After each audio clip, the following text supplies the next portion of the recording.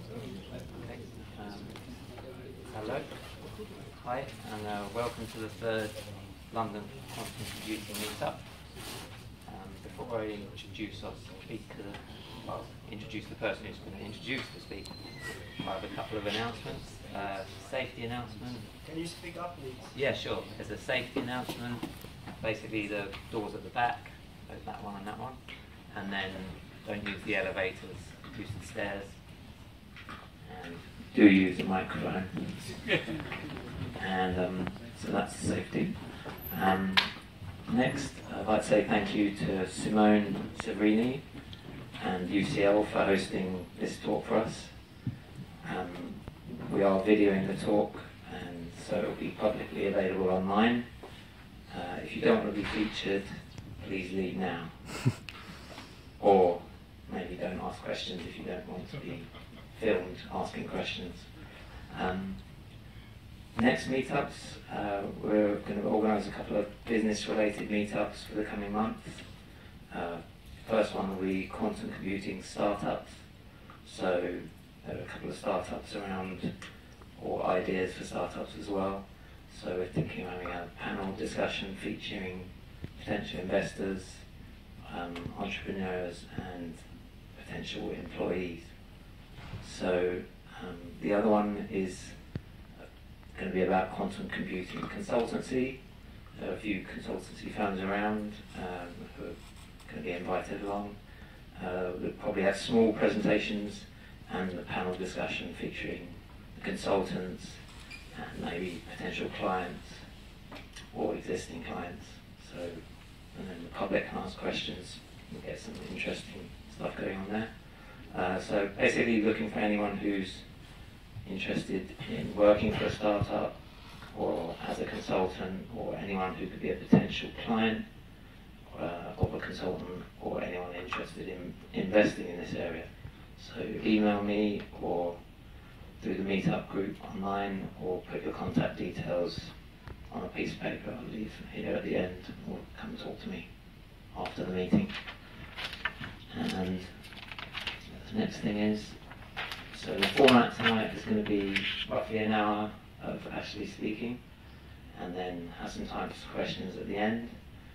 And uh, so finally, uh, I'll hand you over to Simone Severini, who will introduce our speaker Ashley, because he knows him a lot better than I do. So, So, a lot. Thanks. So, um, I, I know Steve because he mailed me about uh, the, the possibility of, uh, of getting a room here at UCL for, uh, for this meeting. So, uh, that's all my involvement with, with, the, with the meeting itself. So, but, but I'm very happy to uh, introduce Ashley.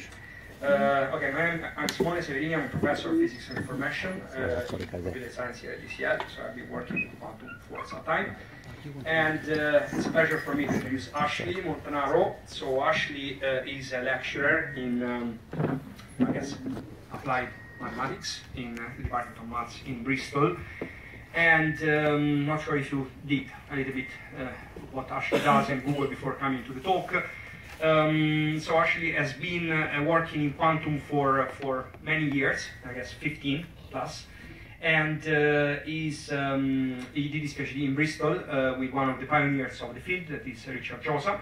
Then he was in Cambridge as a postdoc, and uh, Ashley then he moved back to Bristol a few years ago. Um, Ashley is involved as a very active um, member of the quantum community. In fact, is in the steering committee member of uh, QIP, which is Quantum Information Processing, which is the preeminent conference in the field. Uh, he also founded a new journal, which is open access. It's, it's a great, uh, um, a great initiative, which is called Quantum. And uh, Ashley has done a, a, great amount of work in uh, various aspects of quantum information and quantum computation. And specifically, he has worked extensively in the area of quantum algorithms. So if you want to learn technically about quantum algorithms, you are invited to look at a review that Ashley wrote uh, is available on the internet, on the arXiv. Um, I guess we are lucky to have Ashley here because if I would consider the, the, the landscape of, uh, of uh, people working in quantum computing, quantum algorithms in Europe at the moment, Ashley is one of the most recognizable people. Thanks. So that's please.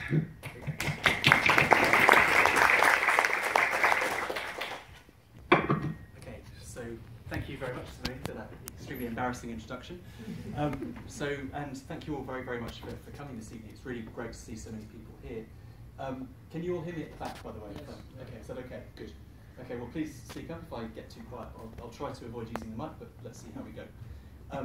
Yeah, so uh, thank you, Simone, as well, for the uh, local organisation here, booking the room, and thanks, of course, to Steve for putting this meeting together. It's uh, much appreciated. Um, okay, so what I want to do this evening is to tell you something about quantum algorithms. Um, and um, these are somehow the, the fuel behind uh, the engine of quantum computing. Quantum computing is a very exciting area. I guess you think this, otherwise you might not be here this evening. Um, but to make our quantum computers do anything interesting, we need to have a quantum algorithm, and that's what I want to, to talk about this evening, to give you a sense of what we can do with quantum algorithms and hopefully a bit about how, how they work um, as well, to kind of maybe demystify a little bit what, what's going on in these algorithms.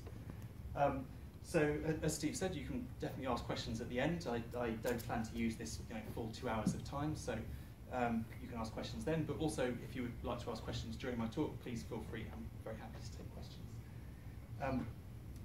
Okay, so let's get started. Um, so, what I want to, to do this evening is um, start out by giving a, a, brief introduction to quantum computers. Um, uh, you know what they are, um, basically, a few words about how they work. Um, then I want to talk about various different quantum algorithms which are, are known and which are, um, you know, particular interest, at least particular interest to me perhaps. Um, and these are going to be um, some, some famous ones, um, simulation of quantum systems, uh, factorizing large integers, and quantum algorithms for search and optimization. Um, and I also want to mention a bit of uh, my own work at the end, which is definitely not famous, but which hopefully maybe least a bit more unfamiliar to, to those of you who um, are experts in the field already. Um, and I'll just finish off with um, some suggestions for further resources if you'd like to learn more. Um, so just to start, I might ask, um, just to get a sense of uh, uh, your own backgrounds, um, how many of you have uh, read any articles or you know, resources about quantum computing before, like popular articles or things like this? So maybe raise your hands if you have uh, read something like that. Okay, fantastic. So that's most of you. How many of you have taken a course on quantum computing or related topic before? Okay, very few. Um, and how many of you work in the field of quantum computing? Very few again. Okay, fantastic. This means this is hopefully approximately right the, uh, uh, the, the, way I'm going to present this this evening. So, um, but um, like I say, I mean, please do um, uh, say if I should uh, expand on anything because this talk is really going to be a broad overview of these areas and um, you know, I'm going to try and avoid technicalities as, as much as possible, but if you would like more technicalities, please just let me know. Okay. Right, so to start with, um, what is a quantum computer? Um, so a quantum computer is a machine which is designed to use quantum mechanics to do things uh, that go beyond anything that we can do with a standard or classical computer that only uses the laws of classical physics.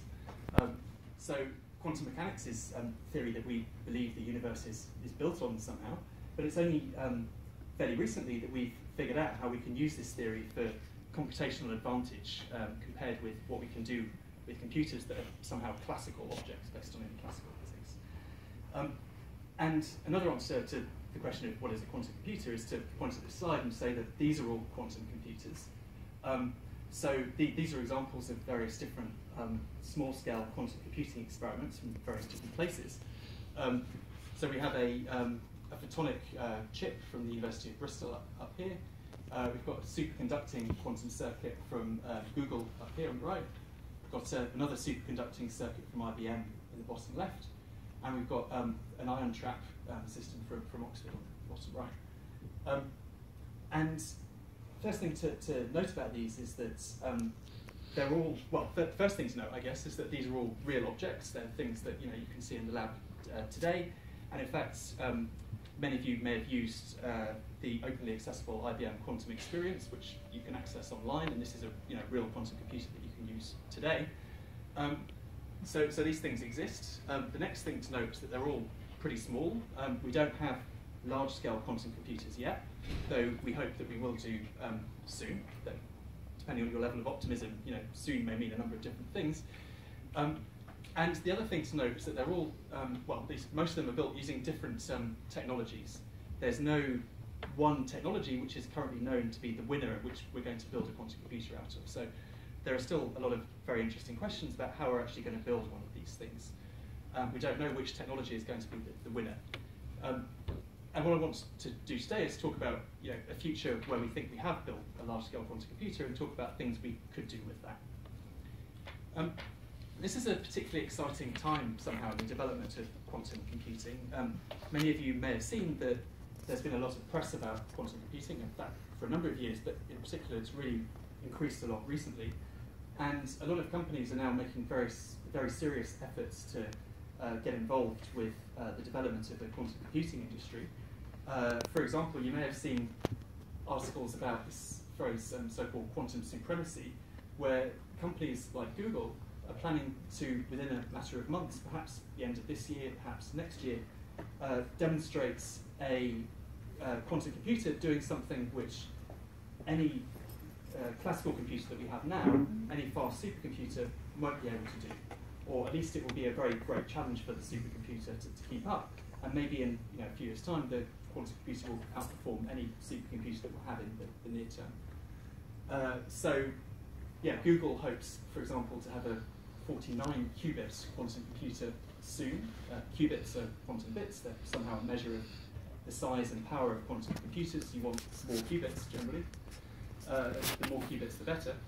So Google wants to build uh, a 49 qubit quantum computer in a matter of months. Microsoft has its own quantum computing effort, and there's a, a software toolkit that they're releasing, which uh, is designed to, to enable people to, to get involved with this. Um, also, IBM, as, as I've said, has a, a large effort for both experimental and theoretical quantum computing research, and a number of other companies are also getting involved. Um, so, as well as these, these big industrial players, there's also a you know, burgeoning startup community now, as, as Steve mentioned. And we really think um, a number of um, serious uh, uh, companies, such as these, really think that in a, a, matter of years we're going to see quantum computers not only outperforming classical computers, but perhaps also outperforming them for problems that we really want to solve.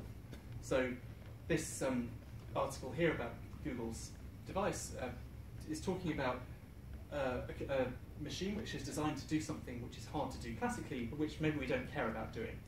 Uh, a problem which is designed to demonstrate the superiority of the quantum machine, but is not necessarily something we would care about for, for other reasons. But in a few years' time, we might see uh, quantum computers solving problems that we really do care about. And yeah, today I want to tell you about some of these problems. So first I should say um, just a few words about quantum mechanics um, and uh, how you know, this fits into uh, quantum computing somehow, what the ingredients are of quantum mechanics that we want to use. Um, and I'm just going to sort of non-technically put a few of these up on a slide. And the first ingredient, which is very important, is uh, superposition, quantum superposition. So this is the property that if we have a system, a quantum system, if it can be in state A or state B, for some A and B, then the system can also be in a mixture of the two states. So it can be somehow somewhere between A and B. And then if we measure the system, so the system's just kind of sitting there on its own, then we come and measure it later on, then we either see outcome A or we see outcome B. And there's some probability of getting A and some probability of getting B. This is in general a random process. We see if we get A or B. Um, and similarly, if we have many more states, like we might have state A1 through AN, say, for some, some n, then um, we can be in a superposition of all of these states. And when we measure, we see one of these states with, with some probability. So we have a randomized process where we see each state with some probability. And um, this is something which we don't see classically somehow. Is, we don't have systems that are in more than one state at once. But an interesting thing about this measurement process is that if we then measure the states the, the system again, then we're going to see the same results as we saw before we say that the system's uh, collapsed to that state. So we don't uh, we uh, don't get any kind of different information out. We just get the same thing we saw before. Um, so again, this is something we don't necessarily see classically. Uh, next interesting ingredient is interference.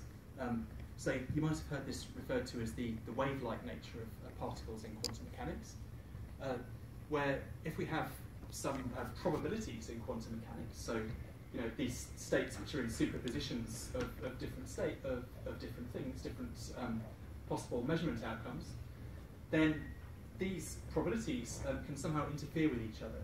So if we have a system that's in a superposition of different states, we can perform operations on it which will make some of the probabilities uh, cancel out and disappear, and others will be kind of reinforced, so they, they increase. Um, so we could have a system, for example, that is in a superposition of many states, and then we perform some operation on it, and it changes to just be maybe a, a superposition of a few of those states. So um, we've somehow cancelled out some of these different properties. So this is like if we have um, two waves that uh, the peak of one is kind of aligned with the trough of another, the two waves cancel out and we um, don't have anything anymore. And we can have this, the same thing quantum mechanically too. And this will be an important ingredient in algorithms. Um, and finally, uh, there's this somewhat mysterious uh, uh, concept of quantum entanglement, where one way of thinking of this, at least, is that there can be systems of multiple parts where we can't think of the system um, just as its, uh, the sum of its constituent parts. We can have a system of many different subsystems, and it can't be described just by giving a full description of each of the subsystems alone. So, in order to understand the whole system, we somehow need to treat it as, as a whole. And this is uh, what Einstein called spooky action at distance. Okay. Of you may have heard of. Okay, so these things are all somehow long understood um, concepts in quantum mechanics that have been observed many years ago and have been studied for many years. But in quantum computing, really what we want to do is use these effects uh, to our advantage. We want to do things with these uh, concepts that uh, we can't do without them. Um, and uh, that's what the algorithms I'm going to discuss are going to do. Okay. So, so just to get a flavour of how we could use this concept of quantum superposition, I want to consider the following example. We might imagine that we've got access to some, some function f. So this is just something, when I say function, I mean something that we can compute on a computer. Um, I should say, to anyone coming in in general, there are lots of seats around this side of the room, so feel free to you know, come around and uh, go around the side. Um, so, yeah, so we might imagine that we have access to some, some function, which is something we can compute on, on our computers. So, you know, like in a in our um, C or Java program, we put in some input, we get some, some output. And we might imagine that this, this function takes as inputs uh, some string of, of n bits. So we, we, plug in a bunch of bits to the function and we get some, output from the function.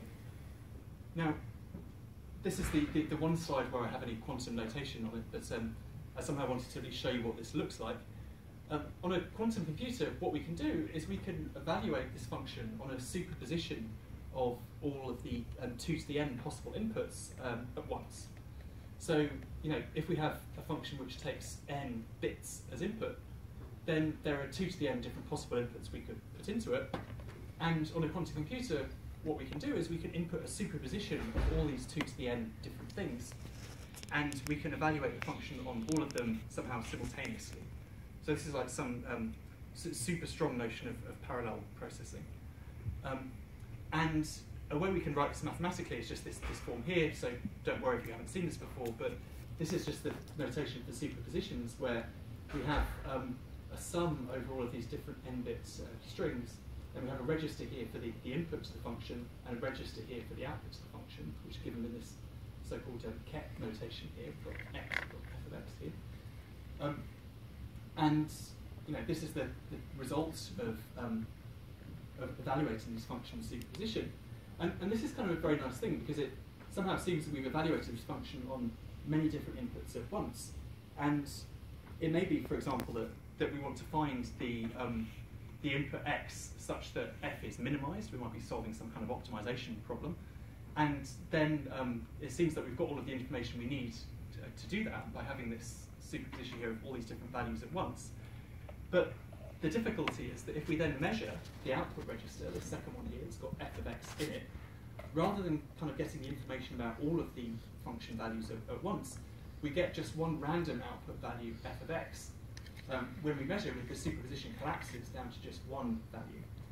And by this kind of collapse principle, any measurements that we do after that point are going to give us the same result.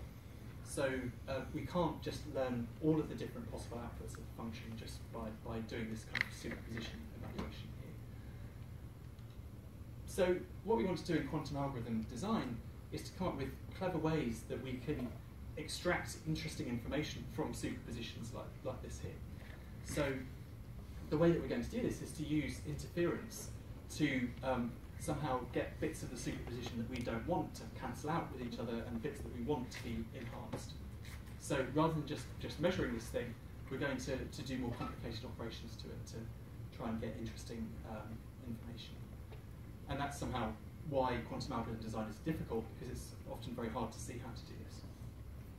Okay, so the, the first algorithm I want to discuss, um, I'm only going to talk about quite briefly, but somehow everyone accepts that this is going to be firstly one of the most near-term uses of quantum computers, but also one of the most important uses of quantum computers. And this is the algorithm for simulation of quantum mechanical systems. Um, so this concept of simulating physical systems actually goes back to the earliest days of classical computing as well. Uh, so this picture here um, is a picture of the ENIAC uh, from, I guess, about 1950 or so, which is one of the, the first electronic uh, digital computers. And one of the main uses of this uh, computer was um, simulating physical systems. I mean, in particular for military applications such as calculating ballistics or processes involved in you know, hydrogen bomb and so on. So, uh, so perhaps you know slightly gruesome physical systems, but still um, simulating physical systems, which are kind of complicated to understand, was one of the, the main uses of early classical computers, and, and we think the same is going to be true for quantum computers. And the reason that um, we think quantum computers are going to be useful here is that it just seems to be very hard to simulate quantum mechanical systems on a classical computer, which is a problem because we think the universe is indeed quantum mechanical and there are many processes that occur in nature which do use quantum mechanics and which we would dearly like to simulate but which we don't know how to do efficiently. And uh, there's this you know, famous quote from Nobel laureate Richard Feynman, which many of you may have seen from the 1980s, which says that if you want to have a, a simulation of, of, nature, then you're going to need to have a quantum mechanical simulation of nature. And um, this is a very hard problem to solve. And, and, the reason why this is a hard problem is somehow because of this superposition uh, concept. Because if we have a system that can have n possible states, then because of the superposition principle, um, it can be in a superposition uh, which contains somehow two to the n different uh, different numbers because it's, if it's a superposition over um, over of n of uh, right. So, sorry, I should rephrase that. If we have a system of like n particles, then if each particle has two states, then there is a, this gives us a superposition of up to two to the n different possible things because uh, if each particle can be in two states and there's n particles, then there are two to the n different states in, in total. And if we uh, want to keep track of how that system evolves, then it seems that we need to maintain information about two to the n different parts of the, the superposition to do this. So we have this kind of exponential blow up, which uh, makes this uh, quantum system very hard to simulate classically, so it would seem. So somehow if we turn to quantum computing, this lets us uh, do this because the quantum system can be kind of encoded directly within a quantum computer and then uh, evolve and then uh, we can measure at the end to get some information out. Okay, so there are lots of interesting applications that, that we might have if um, we could simulate uh, quantum mechanics efficiently. So just put a few pictures on the slide here. Um, so one is, for example, designing more efficient solar cells because the processes um, that occur in the solar panel have a quantum mechanical component to them, which we might be able to understand better uh, if we could simulate those quantum processes efficiently, more efficiently. Uh, and similarly, uh, down here, uh, photosynthesis, um, there's still a lot of debate about how important the role is of quantum mechanics within photosynthesis, but it's at least plausible that quantum effects do play a role here. And if we could um, understand photosynthesis better, we might be able to, um, again, come up with uh, better systems for uh, converting you know, solar energy to, to, electrical energy. Um, high temperature superconductivity. This is supposed to be some kind of um, levitating magnet here, this picture. And you know, the, the problem of um, whether we can find like genuinely high temperature superconductors has been a long-standing open question, and we don't know how to, how to solve it. But if we could simulate um, quantum processes that go on in, uh, uh, associated with superconductivity, then we might be able to, to figure this out finally, which would you know, have a huge impact if we could have, for example, you know, transmission lines that were extremely low loss, then that immediately would be, transformational in some industries. And finally, um, drug design, which is an interesting case too. Um, if we want to um, you know, understand how, how some drug works, then some of the processes that go on at a very low level are quantum mechanical, and if we could simulate these better, then we might be able to, to design novel drugs more efficiently. In all of these cases, um, I should say, a kind of challenge for the quantum computer is that people have been trying to solve these problems for a very long time classically, and they've designed very clever algorithms. So even though we believe that the fundamental problems being solved are hard classically, there's been so much effort that's gone into it, it might take you know, some time for the, you know, the quantum algorithms to somehow catch up.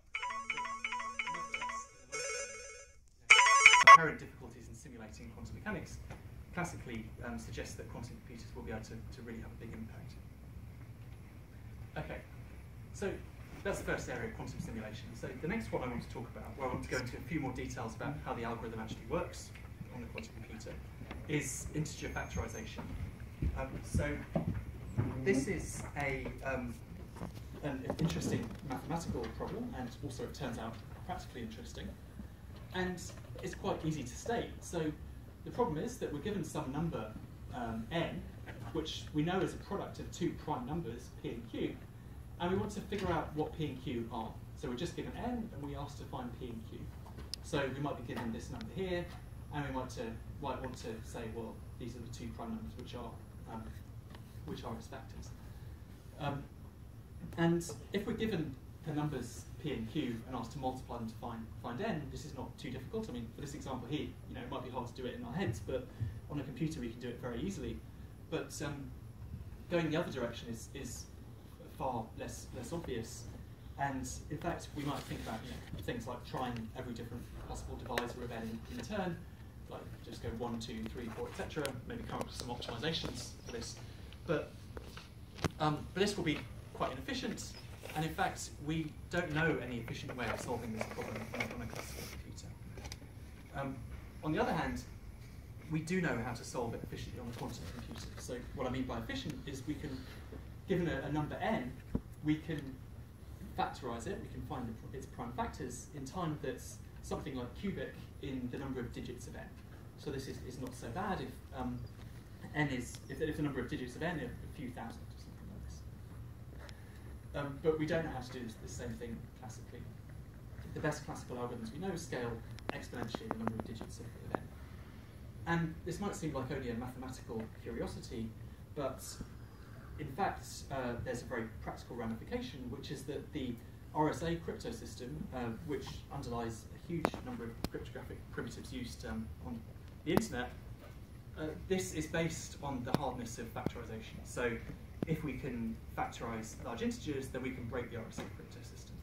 And this algorithm of Peter Shor from 1994 hence breaks the RSA crypto system. So, so people in the security world became very interested in computers at this point. Also Um, very detrimental to bitcoins. Sorry, what was question? Also be very detrimental to bitcoins. I- indeed. So, um, right. So, so there are a number of, of, um, uh, of, of systems which you might think inherently don't don't need to use um, don't need to use RSA to, to secure them, but they nevertheless do use RSA, and, Bitcoin, I guess, is, is one example there. Uh, and uh, yeah, th- this this um, crypto system is somehow embedded so so deeply in all our systems that it's um, you know quite quite a big deal to, for suddenly to be insecure. So yeah, thank you. Um, okay, so just just to get, I mean, th- these kind of asymptotic runtimes, like this order n cube thing here, sometimes hard to get a sense of what that means. So I just want to do a very rough comparison of the uh, the runtimes of uh, quantum versus classical uh, algorithms for this problem. And yeah, this is a super rough comparison, um, just based around you know plugging some numbers into to some formulae. So you know, definitely don't take it as, uh, as the precise truth, but just to get a rough sense of, of what the scaling looks like. So if we have a number of, uh, of digits which is something like 100, then we might imagine the quantum algorithm will take something like you know, uh, 10 to the 6 time steps, whereas the classical algorithm is actually, I haven't told you the runtime of this, but some somewhat more horrible expression, but uh, this is just the, the best known classical algorithm that we have now that I'm, I'm trying to plot here.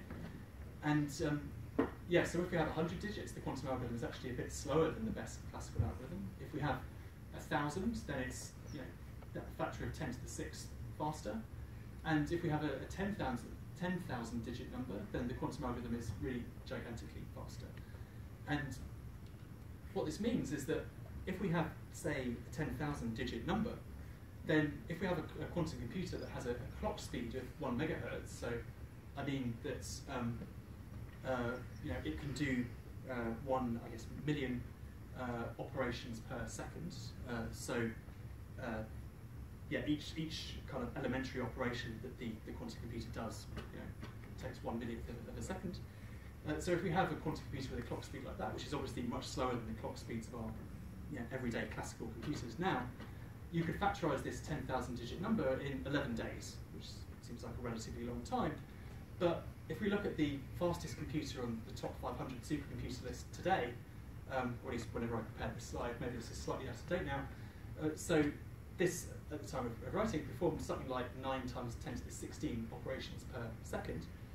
And even this supercomputer would take uh, 10 to the 16 years or, or more, 3 times, times 10 to the 16 years or more to to factorize this 10,000 digit number. Um, so even though the, the inherent clock speed of the quantum computer is, um, is much slower, the algorithm is so much faster that it kind of cancel, uh, more than cancels out this uh, discrepancy.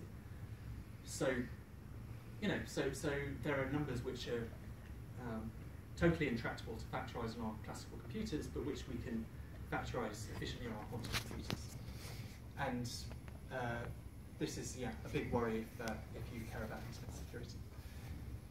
Okay, so, so what I want to do now is, is say a little bit about how Shor's algorithm actually works. Um, this is necessarily going to be a very high-level overview, and um, I want to aim to do it almost entirely in, in pictures, actually. Uh, but the, the key thing, I guess, to, to realize about the algorithm is that it's not based just on trying all possible factors in superposition. So you might imagine, after I talked about superposition, that the way Shor's algorithm works is that we create a superposition of all the different possible factors of, of n, and then we do something clever to kind of extract the, the, the, factors that we want. And, and that's not how it works. In fact, it uses some um, uh, very clever reduction to a totally different seeming problem about detecting periodicity of a, of a periodic function. Okay. So, so the problem that Shor's algorithm really solves is, is this one here, which is that we imagine that we're given some function f, which is periodic, then the value of the function doesn't change. So f of x plus t is just equal to, to f of x. Then we want to determine what the period of the function is. So I've kind of illustrated this here with this you know, picture with some colours, where we've got this, this line here, which is supposed to be the, the different, um, each box represents a different you know, input we could put into to f, and the colours are supposed to represent the different outputs of f. So we can see that the, um, the value that the function takes here is the same as the value here, and then here, and then if I repeated it, you know, it would continue. And uh, so the period of this, this function would be 1, 2, 3, 4, 5. So the function's values repeat after you know, a gap of, of length 5. So um, the problem, you know, for, the, for this function here, this, this uh, function represented by the string of, of colours, the output from the, the, periodicity problem ought to be 5. So that's the period of, of the function. Um, and you can see that this, this seems to be kind of tricky to solve if the period is quite long, because if the output, if, if the values that the function outputs are all kind of uh, unstructured in some way, they're kind of random, then it seems that the only way we can figure out what the period is is to just try lots of different values until we see um, a repetition and then we know what, what the period of the function is. But um, on a quantum computer, we, we do this more efficiently turn out. Okay, so you know, you might wonder how on earth this is related to, to the integer factorization problem. And um, I'm not really going to tell you, I'm just going to state that it's, it's, uh, there, there is a, um, a reduction from one to the other, which is a kind of number theoretic result. Um, and the, the result is that if we want to find the factors of n, it's sufficient to find uh, the period of a function um, f of x is a to the x modulo n uh, for arbitrary a. So what, what's this sort of function look like? Well, just I've plotted an, an example here where we could have the number 15. People always want to factor 15, so uh, and um, so you see a lot of, um, of uh, papers in quantum computing where people factor 15. But we could look at this, this function here for, for the number n equals 15, and let's say we pick a equals 7, for example, we can look at the, um, the uh, function values here. So this is just a function that we, we get by um, basically uh, looking at different powers of, of 7, and then whenever we get something bigger than 15, we um, divide by 15 and take the remainder. That's all this, this modulo notation here means. So yeah, to start with, we have um, 7 to the 0, which is 1. Then we have 7 to the 1, which is 7. Um, 7 squared, which is um, 49, but then we divide by 15 and we take the remainder and we get 4. Then you, know, you can keep doing this and you get um, different numbers. But then this eventually repeats, and then um, we get something here where the period is 1, 2, 3, 4. So, yeah, so, so this thing, it turns out, is indeed a, a periodic function. And also, if we can find the period of this function using some, some very nice number theory, it allows us to, to find the factors of, of. Um, and so, so the quantum part of Shor's algorithm is somehow just finding the period of some arbitrary periodic function. Okay, and how does this work, this periodicity finding? Well, the, the way it's going to work is using a transformation called the quantum Fourier transform. Now, um, this is, roughly speaking, just a quantum version of the discrete Fourier transform, which um, many of you may be familiar with from image processing or, or signal processing. So, uh, what, what's the discrete Fourier transform? Well, it's roughly speaking a way of decomposing some, some signal in terms of some uh, kind of frequencies or periodic components um, in such a way that you know, if, if we have some, uh, some uh, different uh, periodic parts, then they kind of get extracted separately. And a nice way of um, illustrating this is through this picture, which is you know, from Wikipedia, as are most of my pictures. And it's um, illustrating a problem in medical imaging, where we might have some scan of a patient, I think maybe an X-ray or a CT scan, something like this, and uh, we have some kind of noise over the top of that scan, but it has this uh, you know, very regular periodic pattern here. And then if we do the discrete Fourier transform on this, uh, we switch, which is this uh, thing here in B, we switch to a representation in which we can extract that kind of periodic, periodic noise that's over the top, which is somehow represented by these brighter points within this, uh, uh within this tr uh, transformed image. So we started with this original image, then we transform it to, to this new one here, and the, the bright points somehow represent the um, um, these kind of periodic components over, over the top. And we can then delete them, which is what's going on in this image here. We just removed those, those brighter bits that we, we don't want. And then if we transform back, we get the image that, that we want. Um, we've, we've, we've dealt with this, uh, this regular pattern over the top and just managed to get rid of it. And the quantum Fourier transform enables us to do something similar. It enables us to, to understand the um, uh, yeah, the periodic nature of this, um, this function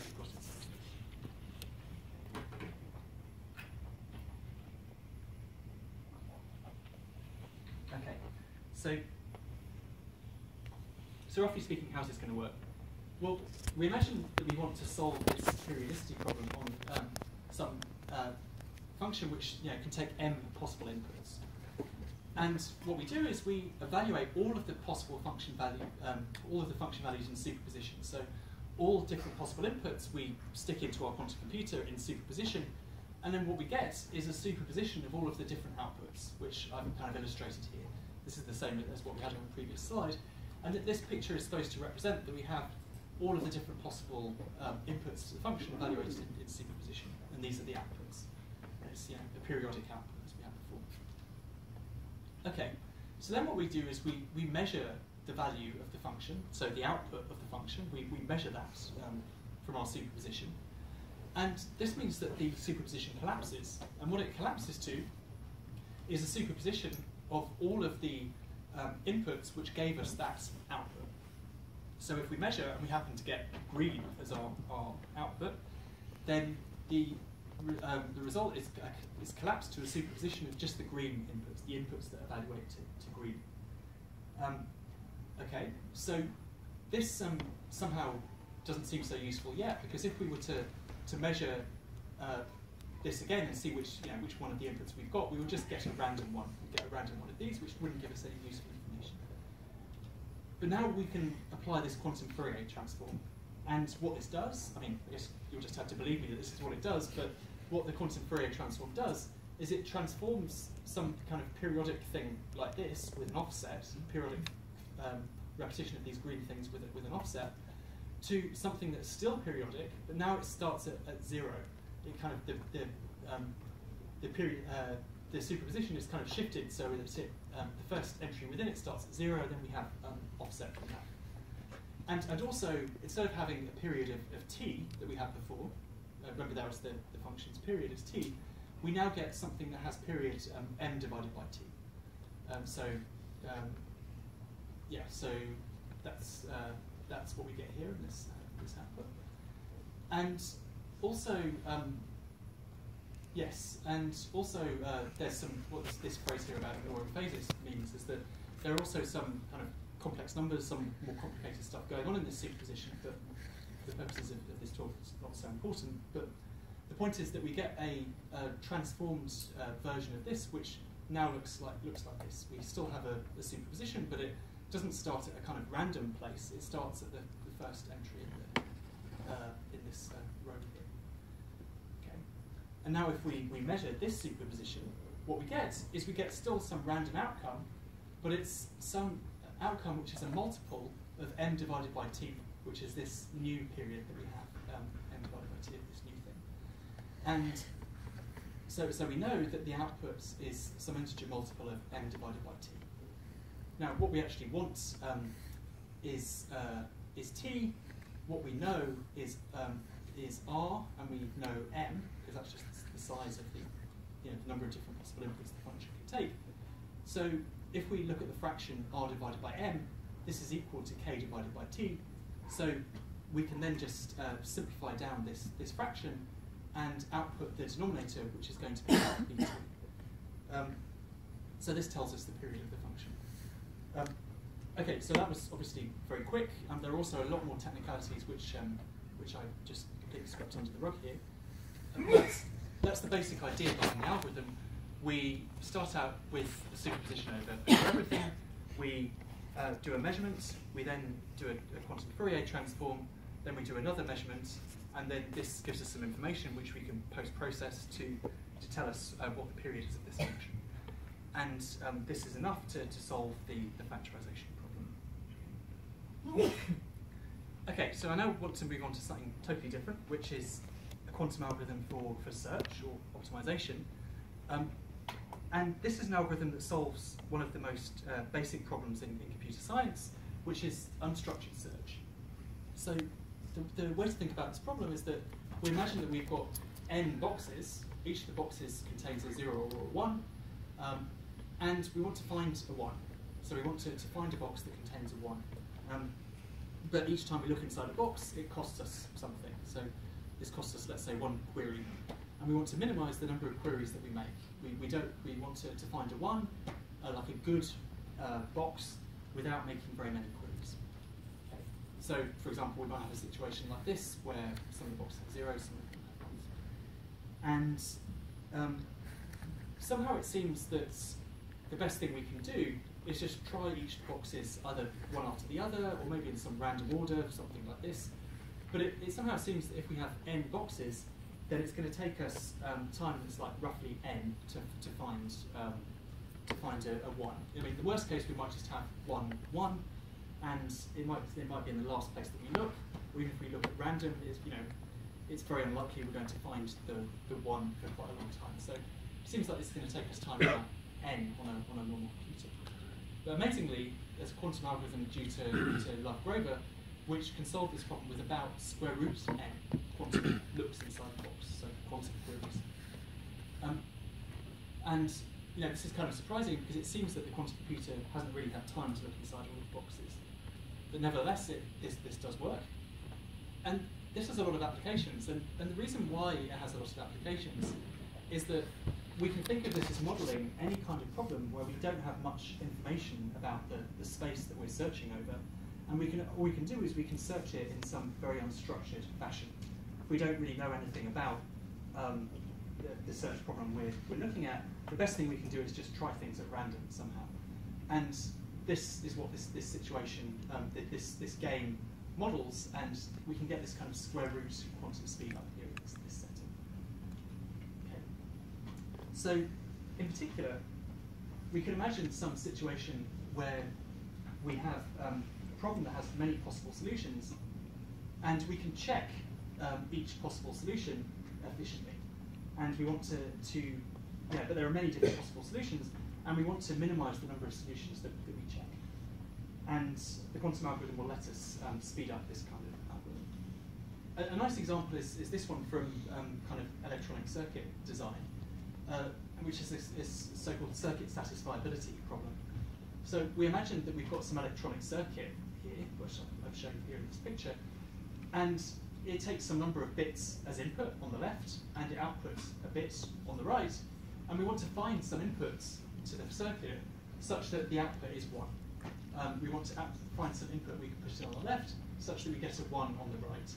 And if this is a complicated circuit, it may not be easy to determine this, whether there exists such an input or if so, what it is. And if there are n different possible um, possible inputs on the left, then there are 2 to the n different possible things we could put in. So it seems that just trying one after the other will take about 2 to the n time. Um, and indeed, in the worst case, the, the best uh, classical algorithms we know do take about 2 to the n time to, to solve this problem. But Grover's algorithm improves this from about 2 to the n to about you know, square root of 2 to the n.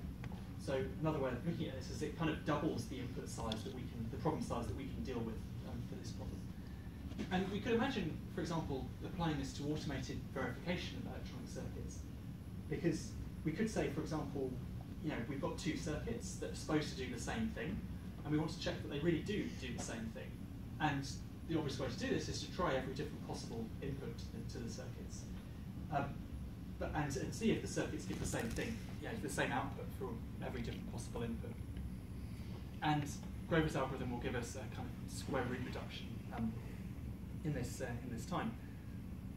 And just as um, in the case of Shor's algorithm, you know, this, this kind of asymptotic reduction of, you know, from 2 to the n to 2 to the n divided by 2, this can correspond to a, a, very significant kind of concrete terms reduction in time from, for example, maybe years for the, the classical algorithm to you know, days or weeks or something for the, for the quantum algorithm, or even But it's, it's very sensitive to the precise parameters of you know, how fast the quantum computer is, how fast the classical computer is, but nevertheless, this could be a very substantial speed up.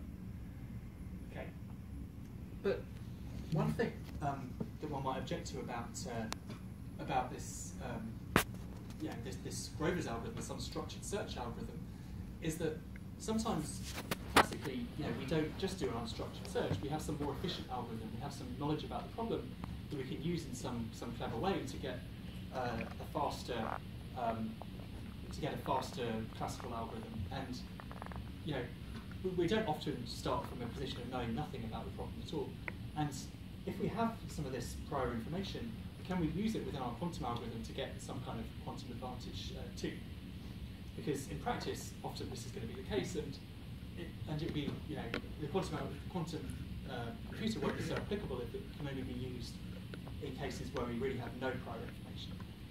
And it turns out that we can often speed up these algorithms too, these classical algorithms when we do have some, knowledge about problem structure. And what I want to talk about now is, um, is uh, some work of my own, which is one case in which we can use problem structure to get some kind of quantum advantage as well. And this is also um, maybe because it uses a, a, totally different quantum technique to, to what we previously discussed, Shor's algorithm. Okay, and this is um, an algorithm for solving um, constraint satisfaction problems. And one very, um, you know, one, well, I guess very uh, popular and widely applicable way of solving these classical uh, solving constraint satisfaction problems is a, uh, an approach known as backtracking, classically. Okay. And what the quantum algorithm does is it speeds up this backtracking. So what is a constraint satisfaction problem? Well, you know, the name kind of gives it away. It's a problem where we have a bunch of constraints and a bunch of variables, and we want to find um, some assignment to the variables that satisfies all of the constraints. Um, so, so we have a, a, system of these constraints, um, and uh, we want to satisfy all of them. We might want to just find some assignment to the variables that satisfies all of the constraints, we might want to find um, all assignments to the variables that, that satisfy the constraints. Um, either way, this, um, this is obviously a very general setting, but this is also a setting where it can be very difficult to, to, um, to find uh, the answer. So for some constraint satisfaction problems, the best algorithms that we know for either of these tasks, either just finding one assignment to the variables that satisfies the constraints or listing all of them, the best algorithms that we know have exponential runtime in the, uh, the number of variables, n. So we can imagine, you know, one thing we might try and do is just try each possible assignment to each variable in turn. But if each variable, let's say, has two different possible assignments we could give it, 0 or 1, then this is going to take time about 2 to the n to try all of them, one after the other. Um, but we might um, try, try more complicated things, but you know, in general, you know, the best, for, for some constraint satisfaction problems, the, the best algorithms we know are going to take us time that's exponential in, in n. I mean, one nice example of this is um, a problem called graph coloring. Um, yeah, I want to focus on this uh, graph three coloring problem. And the problem is defined as follows.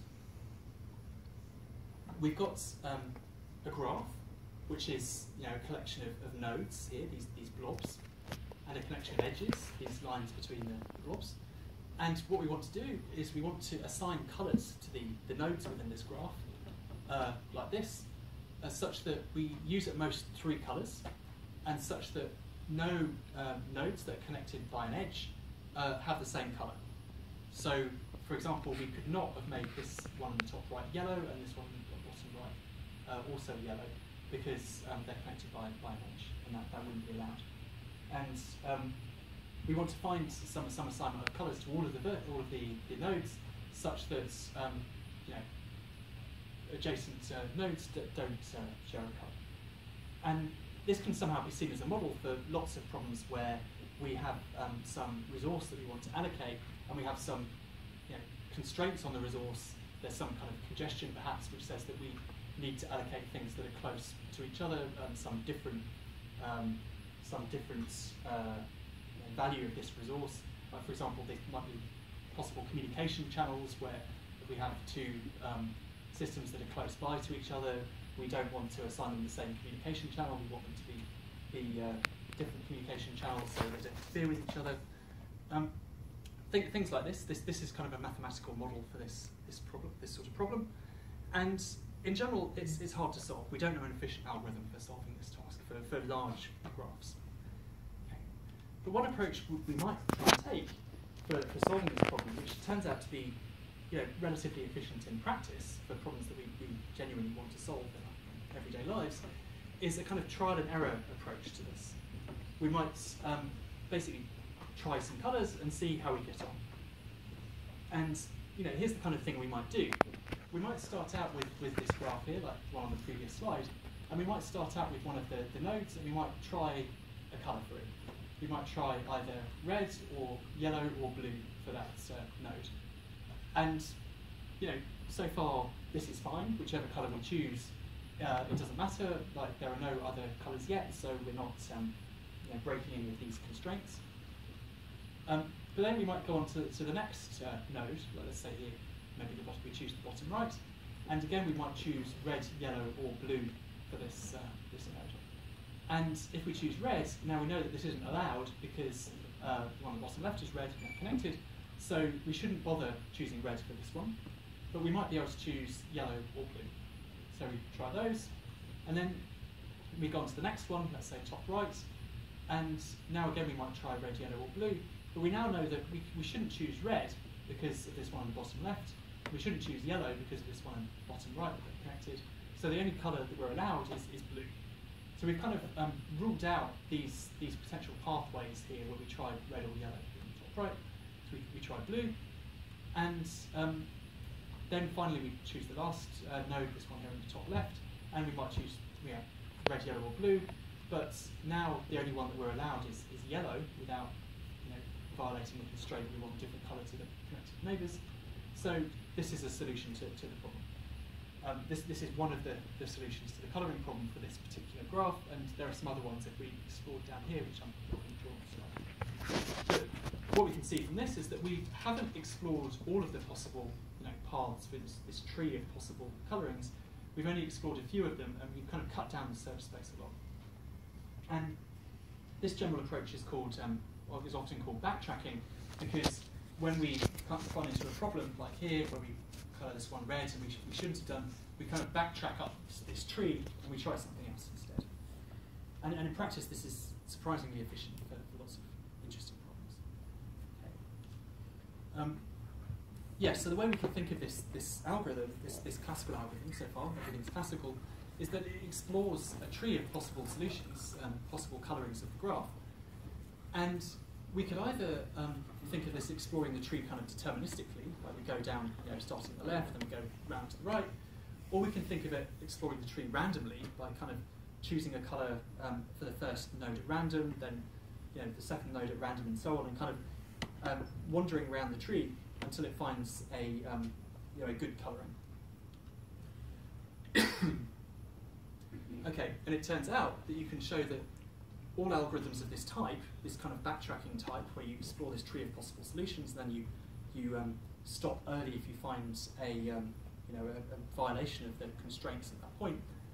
So, if you um, have any algorithm of this form, if it explores a tree of size t, let's say, then it turns out there's a quantum algorithm which can find a solution to the, the problem. Um, so, a colouring of the graph, for example, in time roughly square root of t. There are also some kind of lower order terms which I've, omitted here, but you know, the dependence on t is, is like a square root now rather than um, rather than just t. So this is a again, you know, a relatively substantial speed up. Okay, and the way that the algorithm works, which I, I want to describe briefly, is the use of a, of a so-called quantum walk. So uh, many of you may have heard of, of random walks classically, which uh, which are kind of a random process for you know, exploring some kind of locally connected structure. And a quantum walk is somehow the quantum generalization of this concept, where we use quantum interference to speed up the way the walk spreads. So it's still something randomly walking around some environment, but using quantum interference, it can get around the environment faster. Okay. So just to, just to illustrate this, I want to have um, you know, a couple of uh, animations to show the different ways that random and quantum walks can behave and how the quantum walks can spread faster than, than these classical random walks. Okay. So yeah, for, for those of you who haven't seen it, so what is a random walk? So um, a random walk is basically the, the movement of some particle or walker uh, within some kind of graph structure, some kind of uh, locally connected structure where you start at some point and you move to the neighbours of that point, or to one or other of the neighbours of that point, and you repeat this process and you move around um, some um, uh, some kind of domain, and then eventually you end up at some new place, and that's that's where you stop. So, for example, one I guess the, the simplest interesting example is a random walk on on the line. So we might imagine we've got this infinite sequence of integers from minus infinity through to infinity. So we've got you know, lots of them. We've got in particular minus 3, minus 2, minus 1, 0, 1, 2, 3, etc. Um, and we, we might imagine that we can randomly move along this line of, of numbers um, in, in the following way. We might start at position zero, then at each time step we might toss a coin, and then if the answer's heads, we go left, if the answer's tails, we go right, and then we repeat this some, some number of steps, and then we see where we end up uh, at the end of this process. And this will give us uh, some kind of um, distribution on possible places we might end up. Okay, and a quantum walk is, is a very similar concept, but it's based around the simulated motion of a quantum particle on a quantum computer. So this, this random process here of walking along this integer line, we can simulate this on our classical computer just by you know, writing some code to toss a coin and well, just get a random number and to you know, update our position by moving left or right each, each step. And similarly, with a quantum walk, we can um, have a quantum particle that's exploring some space coherently with you know, all these interesting quantum superposition effects, and we can simulate this, uh, this quantum particle moving using our quantum computer. Okay, and it turns out that the behavior is very different of a quantum walk compared with a classical walk. And I just want to show this with um, a couple of um, animations. Okay, so this is um, supposed to be a classical random walk. So what, what this slide is supposed to show is that uh, the x-axis is the position of the walker at any given time step, and the, the y-axis here is um, the probability of being found at that position. So here we can see that at the start of the, the walk, we're guaranteed to be at position zero. Um, and what I want to do is plot this for different times um, as, as we run the walk, and in particular even time steps, just because this will make it a bit clearer. So, for example, at time two, you know, this is what the distribution looks like. We might be at, um, at zero, we might be at uh, position two or position minus two, which you, can't really see here, but um, those are the other positions we might be at. And you can work out what the probabilities are of being each of these positions. Um, and if we, we run this for longer, we kind of spread out, and this is what the probability distribution looks like. And you can you know run this for a bit longer, and then that's eventually what we end up looking like, something um, like this, where we are quite likely to be where we started, but we have some you know, probability of spreading out, you know, either to the left to the right. Okay, so I've kind of zoomed in a bit, so we can see that after 100 steps of the, the random walk, this is what the probability distribution looks like. We're most likely to be at zero, but you know, we have this kind of bell curve that says that we might be at other positions, but it kind of tails off fairly rapidly. Um, okay, so that's what a, a normal walk looks like. Um, but quantum walk turns out to look very different. So what I want to do is I want to plot the behavior of both the quantum and the classical walks. And I've started at time 12 uh, because just it makes the, the, plot look nicer, basically. And I want to, to plot this um, from times 12 to 100, so from 12 to 100 time steps, again at even time steps. Um, and you know, so now just to be clear what I'm plotting, so the red line is still the, the classical random walk, where we you know, start on this line and we either go left or right. And the blue line is the, the quantum walk, where we have a quantum particle that's on the line, and it explores the line in, in superposition, and then at the end we, we measure and we see the particles at some position with some probability, and the blue line is representing you know, what that probability distribution looks like. So what the probabilities are that we see the particle at different positions. Okay, and what we can see is that it looks really quite different. So the classical walk spreads out again in this you know, very simple way where it mostly is, at zero, but you know, there's some small probability of going a long distance away from the, the origin. But the, the quantum walk firstly, you can, yeah, there's a few interesting things to note. Firstly, the behavior is much more complicated than the, the classical walk. Um, you've got these very interesting you know, spikes here, which are the effect of interference in, in the walk. Um, so this is the kind of wave-like thing that I, I, mentioned. Some things are cancelling out, some things are reinforcing. Um, but the other interesting thing is that you can kind of see that it's spreading out faster. Um, so we've got this, this big peak here that's quite close to, um, to the end. So we've, we've done like 100 time steps, and this peak is about you know, 70 or something like that distance from, from the origin. So, so the walk um, is spreading out at a, a, faster rate than the, the classical one. Um, and yeah, this, this is just a know, plot, but you can actually prove that it does spread out faster just play it again. Nice animation. And um, yeah, so this is what it looks like. It's, um, it's spreading out somewhat more quickly. And this was the effect, you know, just on, on a 1D line, but you get something similar when you're exploring like a tree. And in particular, if you're exploring this tree of possible solutions within this backtracking you know, framework, you can use the fact that you've spread out more quickly within this tree to um, explore it effectively, yeah, more efficiently, and to find a solution to the problem in time that's like square root of what the classical time would, would be. Um, so this is where the, the quantum kind of square root speed up comes from. And there are lots of other in, um, algorithms out there that use quantum walks in, in interesting uh, ways to, to get some kind of advantage over what we can do classically. Okay, so this is basically everything I, I wanted to say um, today. Um, so there'll be you know, loads of time for, for further questions if, if you have them. And just to, to summarize what I said, so there are some interesting and important problems, um, some of which I've, I've, highlighted, which we can solve more efficiently using quantum computers than we can with our best known classical algorithms today. And sometimes we have very good evidence that um, classical computers will not be able to solve these problems efficiently, but we can with our quantum computers. So these include some problems in simulation of quantum mechanical systems, uh, cryptography, search, and optimization, but there are lots, well, I believe at least, there are lots more applications waiting to be discovered. And um, indeed, I hope some of you will, will discover them, uh, because this, uh, this is really the start of the field of, of, quantum computing. And you know, we have a lot of catching up to do with, with classical computer science. And um, you know, I'm really you know, very optimistic that there will be many more interesting quantum algorithms discovered when many more people enter the field. Um, so for uh, nice website, for example, the NIST Quantum Algorithm Zoo, so this is the US National Institute of Standards and Technology. Uh, so this Quantum Algorithm Zoo is kind of a repository of papers about quantum algorithms, and it's currently got, I think, 362 papers listed on there.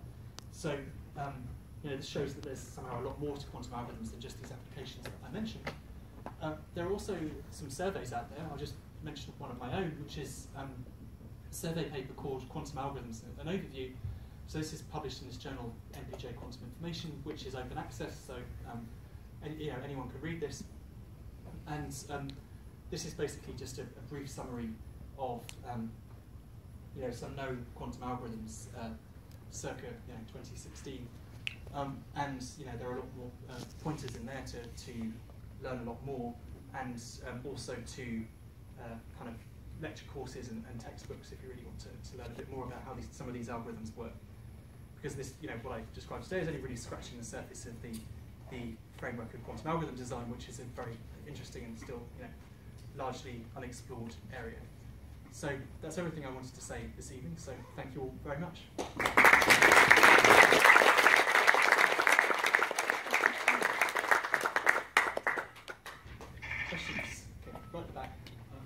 thing I, I, was thinking when you talked about the application for cryptography is that you probably have par you're doing open research and publishing, but there's probably a, a lot of secret military uh, research on this, but you're probably not aware of it, right? Right, that, that's correct. I mean, uh, can you repeat the question? Oh, no, sorry, yes, I have to repeat for, for the recording. I have to repeat the question.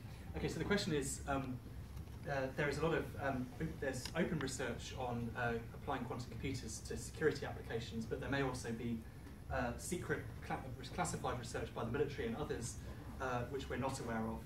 Um, and and this is this is pr probably true. Well, it's undoubtedly true that there is secret secret uh, research that we're not aware of. Um, for, for, all we know, there may be an efficient classical factoring algorithm. It may be that the NSA has had such an algorithm for many years and they just haven't told anyone.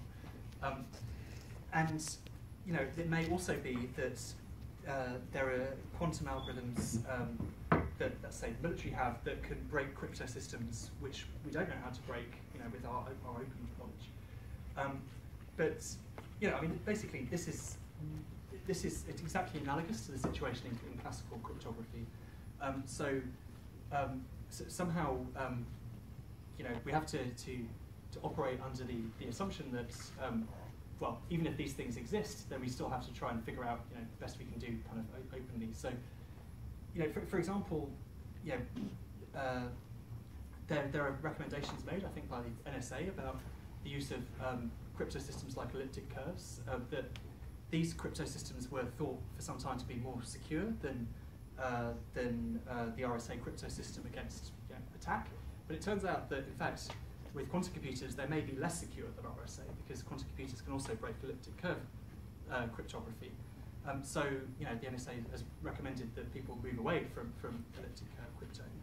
And, you know, so, you know, the level of confidence you, you have in these kind of pronouncements, I guess, depends on your view of security agencies. But, uh, but whether or not there are, you know, these, um, you know, there, there's um, secret research going on into these uh, these questions. Right? We already know that just based on the open research, quantum computers will have this really huge impact. So people have to be ready to, to address that.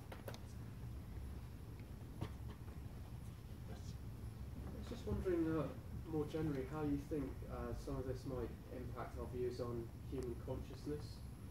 Um, you know, whether quantum computing has any sort of uh, light that can be shed in, in that field.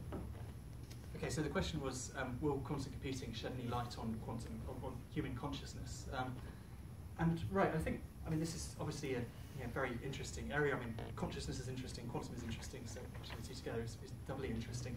But um, so somehow, it, it, at present, it does not seem clear that there are quantum effects going on in the human brain, which which are important on the level of um, understanding consciousness. And um, you know, s- some people have hypothesized that there are. I mean, other people think maybe not. I think, um, you know, we, we think that the universe is, is quantum mechanical, but that doesn't necessarily mean that for every you know, process that we see in our, our everyday life, the quantum effects are important in determining how that process works.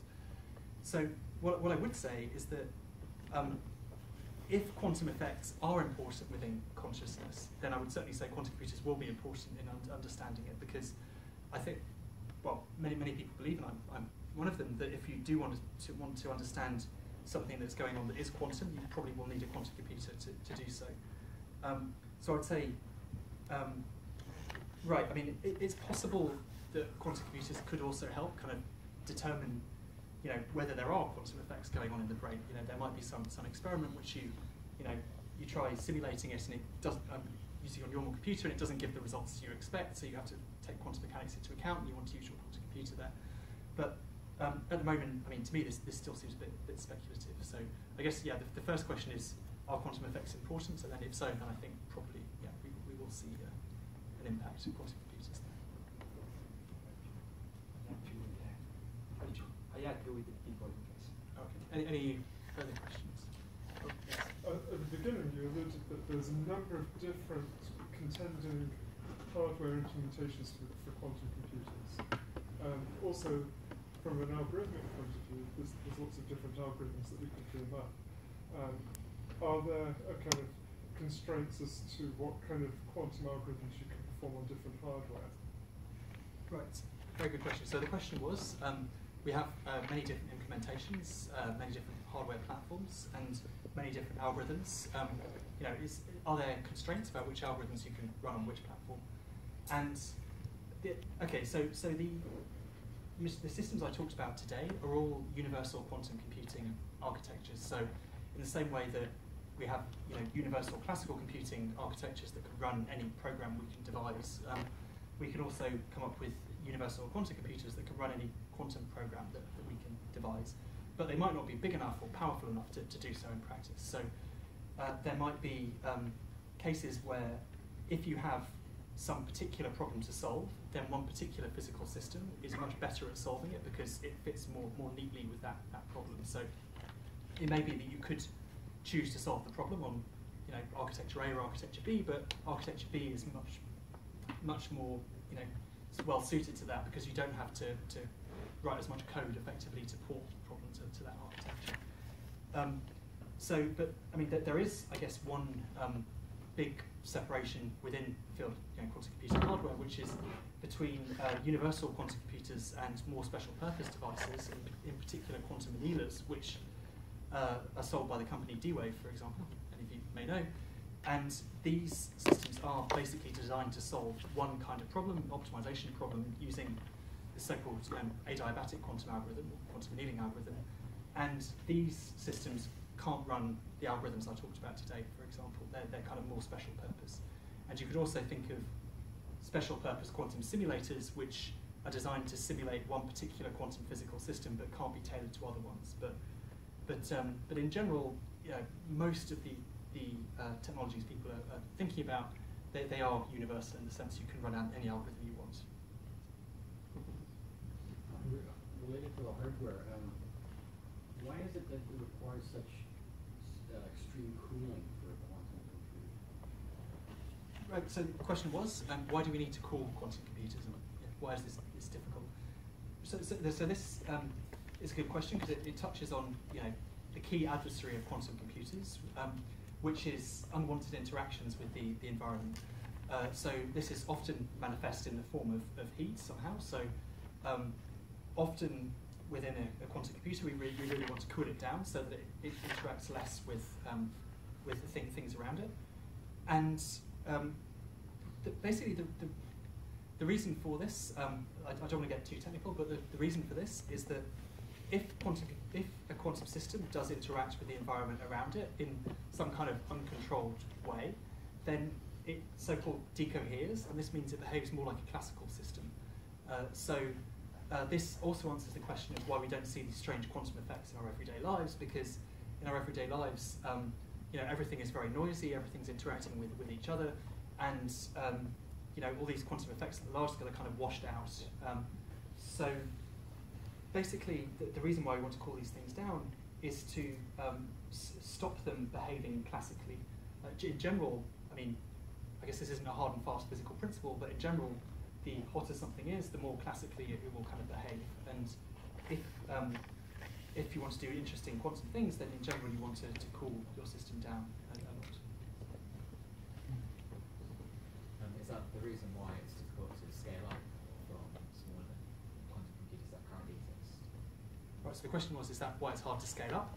And the answer is basically yes. I mean, th there are several difficulties, but the, the, the main one is that um, these, these, this kind of protecting the qubits from the environment and you know, the very precise engineering required to ensure that they only interact as you want them to. And you know, I mean, we, we can look at any kind of everyday object like this table and it has you know millions and millions of, of atoms, probably more than millions of atoms in it. And you know, but why isn't this a useful quantum computer? Because they're not interacting in a way that we can control very precisely. Um, and you know, originally people thought that this would mean that we could never actually build large-scale quantum computers. But uh, the, you know, there was this fundamental discovery of quantum error correction, which says that we can evade these, um, these somehow unwanted interactions, and we can uh, deal with these errors that occur within a computation. Um, and but even given this, uh, it's a real challenge to get our systems to the, the level of precision required to, to be on the right side of, of these arguments so that we can uh, so we can use our quantum error correcting codes. And even if we are able to use our quantum error correcting codes, this gives us quite a big overhead as well. So just having you know five physical qubits is not enough to to run a kind of fault tolerant computation on five five qubits. You will need more than that to to do the error correction. So. Um, so, so this is both a very practical challenge, but also a theoretical challenge to try and get these these uh, overheads down There's another hardware question. Uh, what are the ways to represent a qubit? Right, so the question, question was, what are the ways to represent a qubit? So firstly, I should say this is starting to get a long way from my area of expertise, um, but maybe I'll just you know, go all the way back to, to the start and show you these, these pictures again. Uh, um, yeah, so I should say I'm not a physicist and I don't say anything too wrong, but um, you know, these, these systems that I've got here, you know, this, this one in the top left, this one from Bristol, uh, you have photons in the system, and a qubit is, um, and if we have a photon, a uh, particle of light, it can have, well, we can think of it as having a number of different states, but for example, you know, it could be over here, or it could be over here, and the position of the qubit might tell us, you know, uh, so the position of the photon might encode a qubit. Like here might be state zero, here might be state one. Um, if we have a um, superconducting system like, like this one, uh, we have um, some kind of electronic components which uh, somehow give us like artificial atoms that have maybe two different energy levels which represent 0 and 1 respectively. Um, similarly, if we have an ion trap, we have some you know, charged atoms like in, in, a trap. They kind of they sit there and then we uh, apply lasers or other things to them that change um, their states from maybe like low energy to higher energy, and that will um, encode as a qubit as either zero or one, low or high. Um, but in fact, you know, any quantum physical system that has two well-defined states, this can give us a qubit. And um, the, the question then is, you know, how, can we control this system and how can we make different qubits interact without having too many errors and this kind of thing. So, um, so, so it's, it, it's a very hard task to find a physical system which is a, makes a really good quantum computer. But at a sort of basic level, like any, any system that has two states um, and behaves quantum mechanically, you know, could be used to build a quantum computer. Um, Yeah, I was going to say, I was going to say, um, uh, what are the, uh, the, the other cases where the um, classical and quantum work together, or is that like a short-term thing? Right, so the question was, do classical and quantum computers work together, or is, um, is that just you know, in, the interim, or, or you know, quantum computers just take over in the long run, I guess? Uh, but right, so, so the, the answer to that is um, we certainly don't expect quantum computers will solve every problem that you might care to solve more efficiently than you can classically. But I mean, there are some kind of strong results that say that we, we don't expect this to happen. So, you know, the, the example everyone uses is you don't expect to do your word processing on a quantum computer because classical computers do that perfectly well, and we don't you know, think we'll see a significant improvement.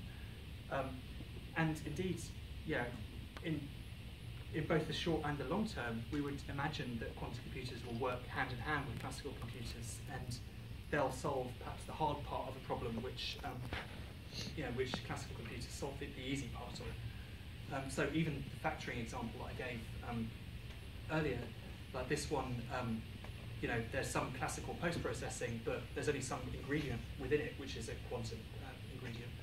So, um, so that, that's an example. The quantum simulation is also an example.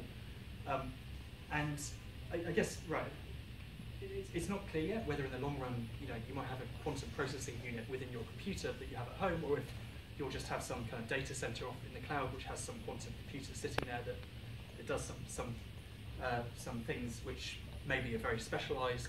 Um, we, we just don't know, but we, we can be pretty confident that you'll, you know, you won't be replacing your classical computers with quantum computers. You've spoken eloquently about Western companies, you speculated about the NSA. What do we know about the advances, say, in China, which is evidently more closed, but clearly extremely active? Right. So the question question was about what about quantum research in, in China and, or I guess other countries uh, as well. And uh, right. So so China actually is investing very heavily in quantum technologies recently. Um, so some of you may have seen there was some. Um, there was a lot of press recently that uh, they launched a satellite which has done quantum communication with um, Earth.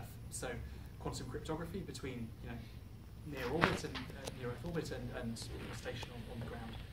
And um, yeah, they're, they're, they're in particular investing in, quantum cryptography, but they also are interested in, in quantum computing. Where I, I think it's fair to say that, as far as we know, they're you know they're not yet a front runner in, in quantum com- computing as such, but you know they with the right amount of investment, um, this may well change in the future. Um, and I think I think it's also fair to say that effectively every um, major you know, industrialized nation is investing heavily in quantum technologies at the moment, and in particular in quantum computing. I think you know I, I can't name a you know a company that has a, a, lot of investment in science that doesn't have a significant investment in, in quantum technologies.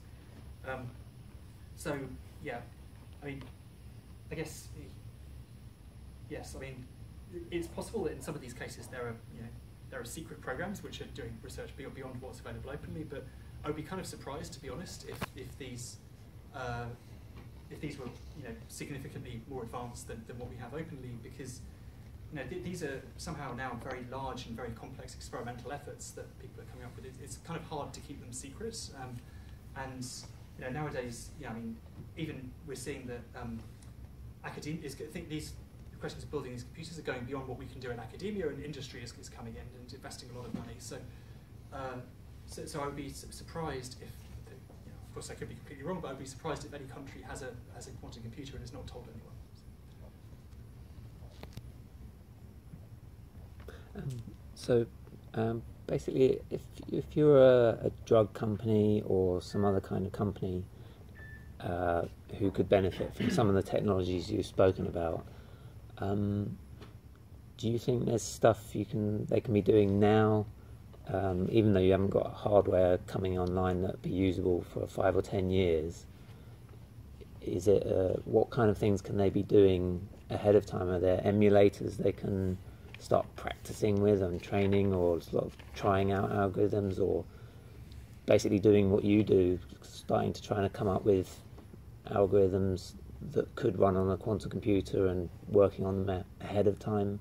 What kind of work can industry do apart from just obviously asking you, can you do something for my industry? What what things can they do themselves really, with your help maybe, or with I mean, that's a, a very good question. So, um, right, so, so obviously it depends on the industry, but let's take drug design as an Yeah. example. But um, so, so there are indeed um, emulators out there which will let you uh, run quantum algorithms on your, your laptop up, on, up to a certain number of qubits. Like you, know, you might manage 20 or 30 without too many troubles. If you have a very fast supercomputer, you might manage 40 or something like this.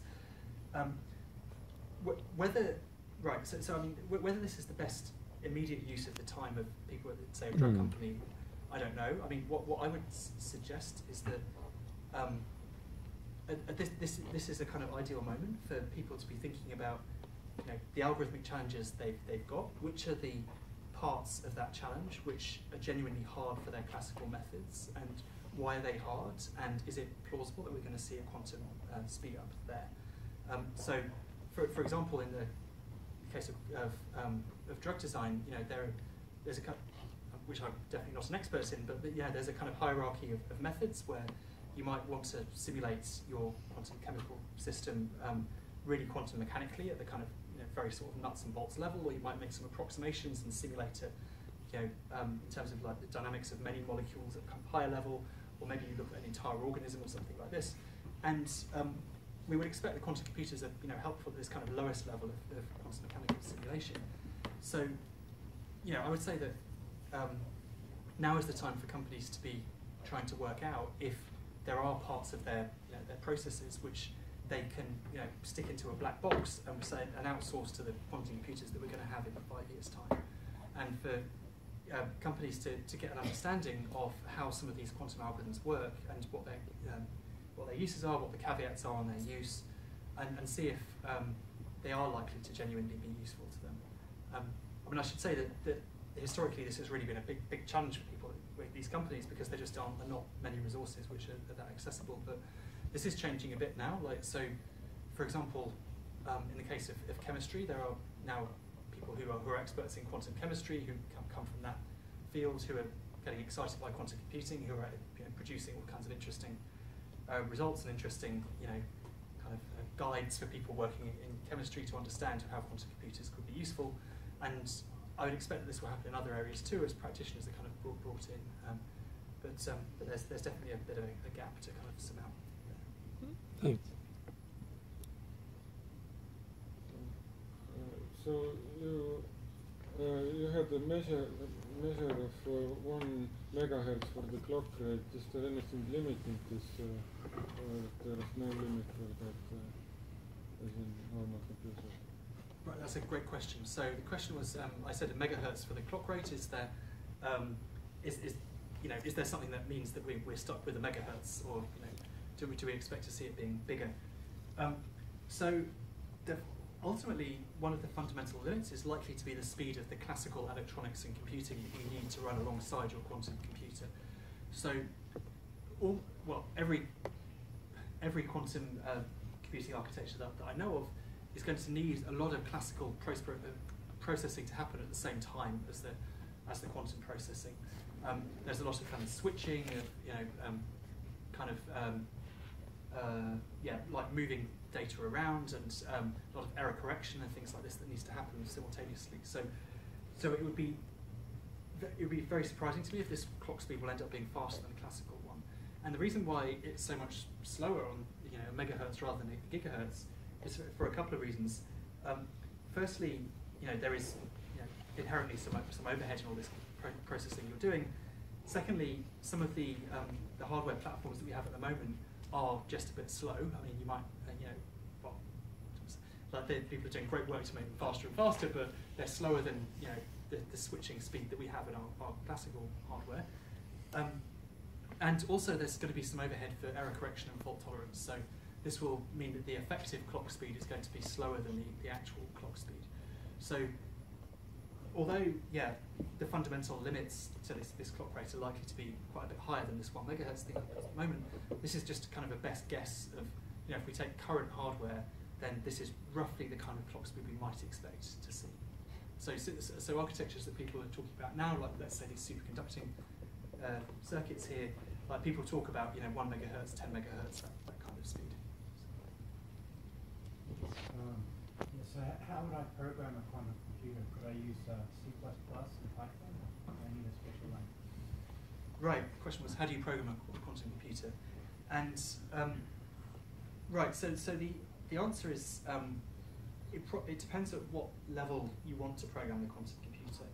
Uh, so you could imagine, firstly, you might be, you know, at very top level where you're the user that just wants to use the results of the quantum computer, right? Like, so someone's come up with an algorithm for, for factoring and you want to find the factors of a number and you just plug it in, you know, and that, maybe you have some, you know, you set up the user, your, your job is to write the user interface for this. So this is kind of one level, but, you know, at, at the other level, you know, right at the, the bottom level, you um, might actually need to, you know, to code up the quantum algorithm itself. And you know, at the moment, we're at the stage of you know, people effectively doing this in machine code, like coming up with these quantum circuits, uh, which, which you know, very low-level things. Um, people have spent many years, you know, designing higher-level languages, um, and um, it's not clear yet. I would say, you know, which is going to be the victor in terms of the language that people will really use. I mean, just as with the, the experimental implementations, there are a number of them. We don't really know what people are going to use. Um, but I mean, I would say that, well, in, in my opinion, that many people who, who are doing coding for a quantum computer will, will probably operate at kind of the next level up beyond that, where uh, they have some kind of quantum primitives, like for example Grover's algorithm for search, and they want to apply these, and they're going to use them in some probably very clever and you know unexpected ways to get speed ups for problems that we, we, we didn't know how to do efficiently beforehand. So I would expect that, that you know your, your average quantum programmer um, will not be working so much at the kind of nuts and bolts level of the, of the system. be a compiler as well to compile it down?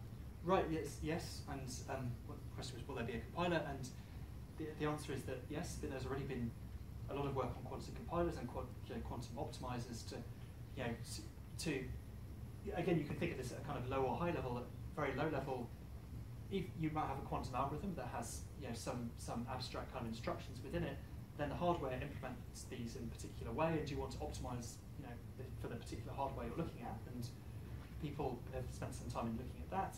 And then you might also look at uh, you know, optimizing your quantum program itself to, to remove unnecessary things or to whatever. And um, yes, I, I think these things will be all important. Um, and um, yeah, I mean, to, th- th- there are parts of the kind of flow which are, are basically, yeah, they look a lot like a kind of classical compiler, but there are parts which are, uh, are more complicated than quantum, and um, yeah, th- these will have to be done too. I mean, ba- basically, the entire stack will need to be developed.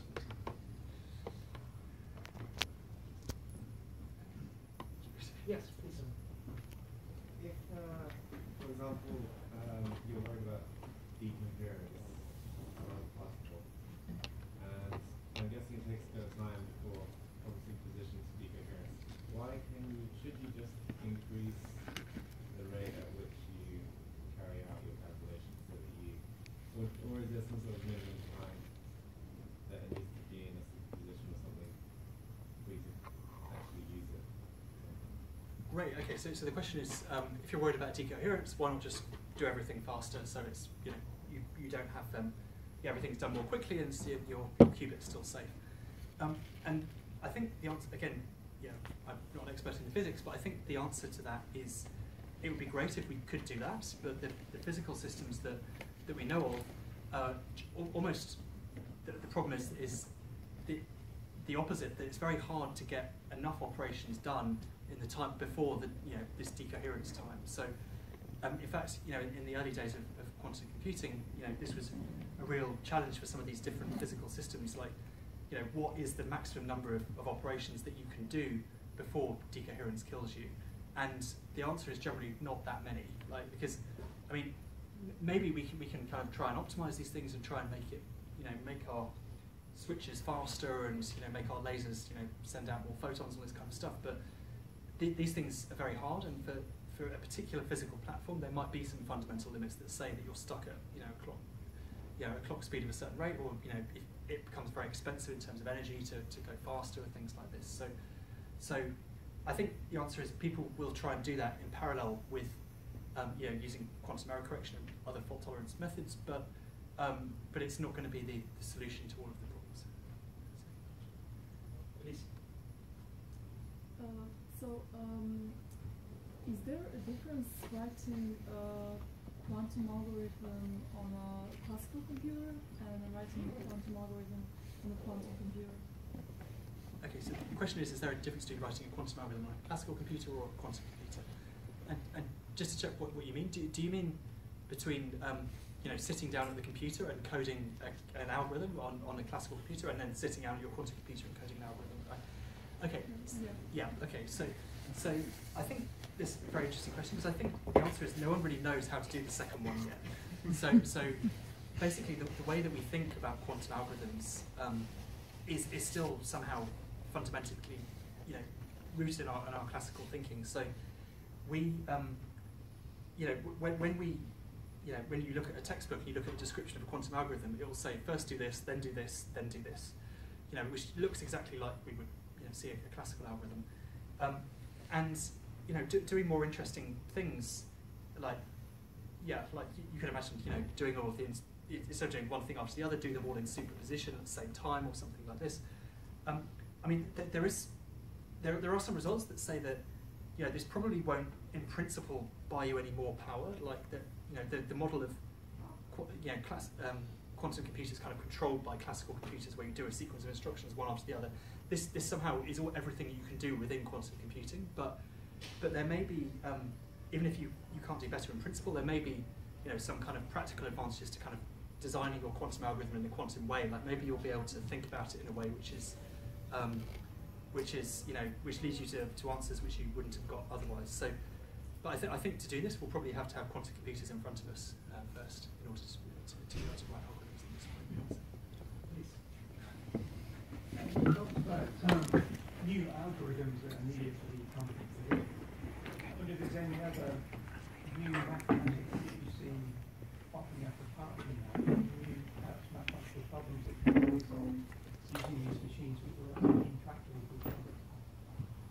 so the question was new mathematical problems um, as, as well as new algorithms. Do we see you know, new, new, new, new um, problems coming up with mathematics we couldn't solve before, but we, we can now?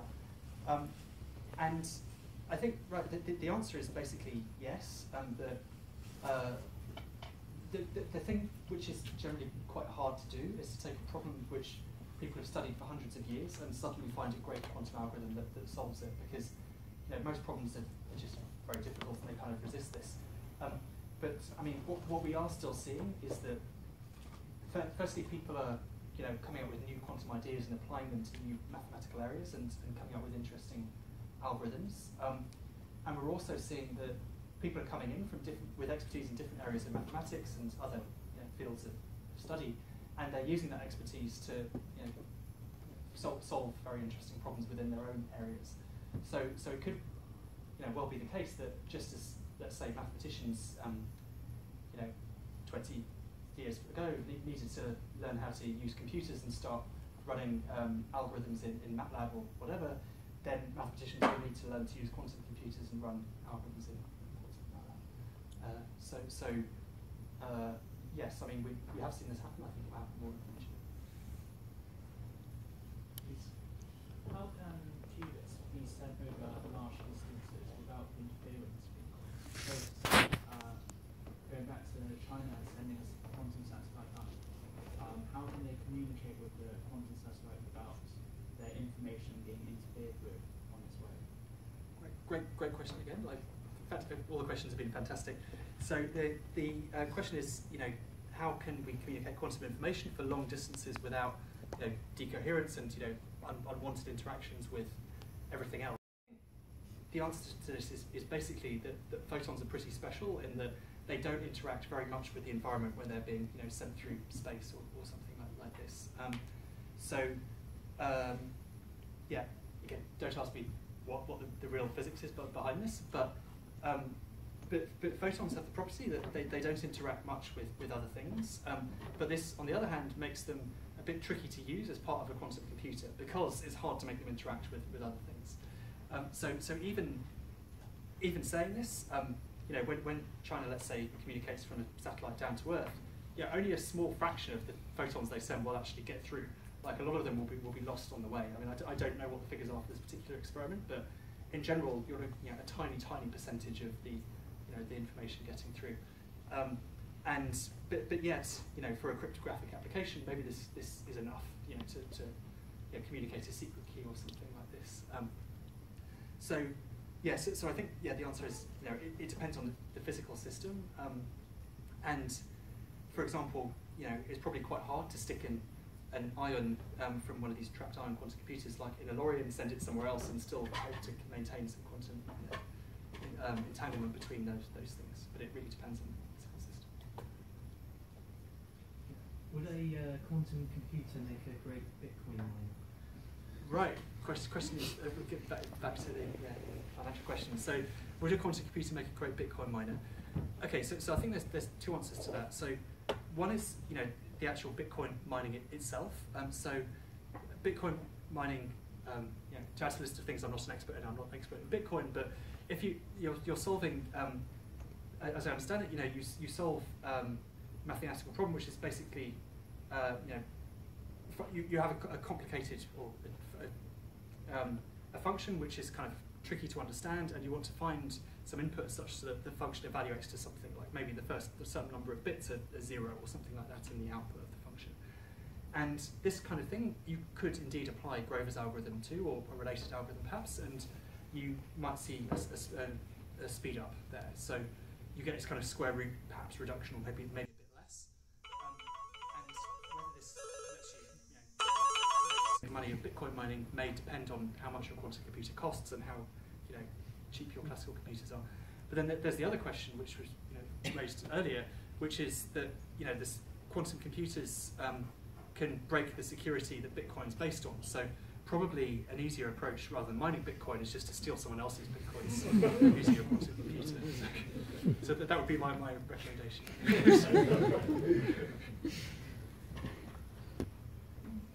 so um, classical computer may have uh, von Neumann architecture. Does a um, sorry, a quantum computer have, a, have the same, or is it very different depending on who manufactured it? Right. So, so the question is, does a quantum computer have a von Neumann architecture, or, or does it differ depending on the, the you know, physical technology? Um, and in interestingly, the, the architecture of quantum computers is, at the moment, is in general much more simplistic than the von Neumann architecture. So, uh, you know, rather than having different parts of a computer which are kind of connected by buses and things like that, and information kind of shuttled around to, you know, from memory to a CPU or whatever, uh, generally we imagine the qubits are just kind of sitting there and we do operations on them, and the data is all kind of there in, in the qubits, and then we, we do things to them, and then at the end we measure them. So it's, it's, it's like everything is kind of in RAM the whole time. Um, on the other hand, some of these different physical systems, you know, they, they do have um, properties which make them look a bit like you know, von Neumann architecture. Like we might have um, different ion traps that are connected together via some photonic link, for example. So you have information that's kind of being shuttled around the, the overall system. Um, and yeah, and the same goes for some of these other technologies. And I think it's fair to say at the moment that we just don't know what the final architecture is going to look like, and there may be multiple architectures. We don't know if there will just be one architecture that's good for, for every particular problem. So yeah, we'll, we'll see. Just to follow up, um, does it make sense to talk about memory uh, in a quantum computer because of like there's a superposition? Right. The question is, does it make sense to talk about memory? Um, and the answer is yes, it does. Um, so there, there, are a couple of ways in which you might want to think about memory. Um, one is that the state of the computer at any given moment, you know, which is a superposition of many different different things. Like this is like something stored in memory that we do operations on. Um, or we might want to think about a memory that stores kind of classical data, perhaps. Like you know, um, some, some big database or something that we want to load into the quantum computer and then operate on. Um, so this, I guess, might be more like a, a ROM, or maybe it's, you know, maybe you can modify it as well. Um, and the, the latter might or might not be easier to build than, than the former, or at least it has some kind of different challenges associated with it. Um, yeah, so, so the way, at least I, I would say to think about, uh, you know, the state of a quantum computer is that this is its memory at any given moment, and then we do operations which change the, the values in the memory. So there is a lot going on in quantum machine learning recently. Do you think that's going to be the next big thing? Great. So, so the question is, um, quantum machine learning, is this going to be the next uh, big thing? Um, okay, so, so there's wide, widely varying levels of skepticism about quantum machine learning um, in, in, the community, and, and some people uh, are very optimistic, others maybe less so. Um, I think um, th there's been a lot of um, interesting research done on, on uh, coming up with quantum algorithms for tasks in machine learning. Uh, for me, I think really the big big challenge for a lot of these these algorithms um, is that often in machine learning, which yes another thing I'm not an expert in, but often in machine learning, the problem is you've just got a lot of data. You know, you you uh, either have a lot of data you want to train on, or you have a very big neural network you want to train on something like this. Um, and this is somehow precisely the area where it's, it's hard for quantum computers to, to do well, I would say, because the thing, you know, at the moment that we find very hard to do is building computers with lots of qubits. And um, yeah, if, if we want to, um, to operate on a very large data set, we're probably going to need quite a large quantum computer. Um, so, so for me, I would say, you know, if, if there are you know, big applications of quantum computing and machine learning, it will be if people manage to identify some very hard you know, optimization problems, say, from within some bigger machine learning task, which has just been intractable until now classically, but which people are able to, to solve more efficiently quantumly. So, so I think I think we'll just have to see. So would it be conceivable to have kind of hybrid algorithms where, for example, the data is stored in classical bits, but the parameters of a model would be represented in qubits in order to be able to compute some um, global minimum function? Um, yes, effectively. I mean, there, there's a number of different ways you could think about doing this, and um, in the uh, the long run, I mean, I, I, expect yeah, you will see quantum computers operating in tandem with, with, classical computers, and I think this is one way in which this might happen. I mean, for, for example, one thing which you, you might see, but I think it's, it's fair to say we really don't know if this will be advantageous yet, but one thing you might see is, you know, rather than having a a neural network, you might um, have a quantum circuit which you train rather than having a neural network that you train. And you know, this then you, feed something into it and it, it recognizes or you know, it, it um, transforms some input to some output after having been trained on many different possible inputs. Um, so you could see this as, as perhaps one way of, of, thinking about what you said, where you you have these kind of classical parameters which are telling you what, what operations you're going to do in your circuit, really and you're, you're training these classical parameters to, um, to give you many different possible quantum circuits, and then the, the final quantum circuit that you produce is, is better than you could do classically. And in fact, there have been some proof of principle experiments of this, this kind of thing already. Is there any more efficient way to uh, handle decoherence besides cooling?